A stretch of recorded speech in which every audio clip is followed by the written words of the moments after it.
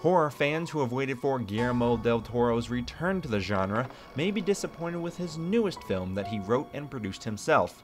Don't Be Afraid of the Dark, a remake of the 1977 made for TV horror film of the same name, features subpar acting and more holes in the plot than a chunk of Swiss cheese. The film revolves around your basic elements of any horror movie a creepy old house, a creepy young girl, and one element that isn't featured much demons who feast on children's teeth.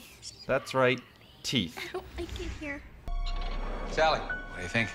We worked really hard to get it ready. Now, Guy Pearce, who you may recognize from Memento, is daddy of the creepy little girl that I mentioned earlier. Now, Pearce is usually prone to being emotionless in his roles, and this film is no different. In several scenes, I can't tell if he's happy his house is haunted or if he just really has to use the bathroom. And Katie Holmes, who you may recognize as, well, Tom Cruise's wife, actually pulls through as a believable character. I mean, I haven't seen her in, in, in anything since, well, Batman Begins, and she was so bad in that movie that they replaced her with Maggie Gyllenhaal in the sequel.